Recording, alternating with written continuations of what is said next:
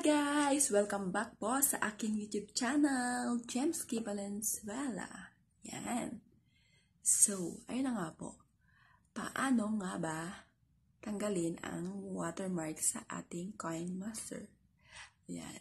Sa video ito, ipapakita ko po sa inyo kung paano tanggalin ang watermark. So, please watch this video.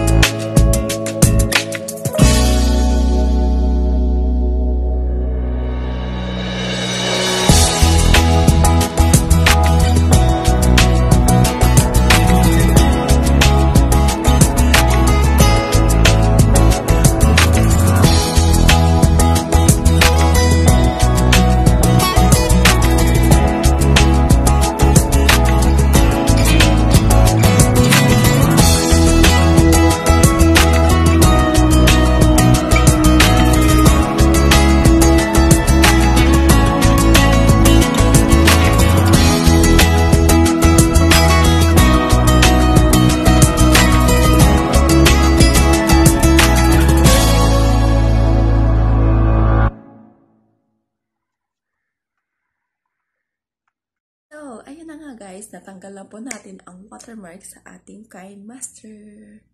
Hope nakatulong po ako sa inyo and don't forget to subscribe and thank you for watching. Bye!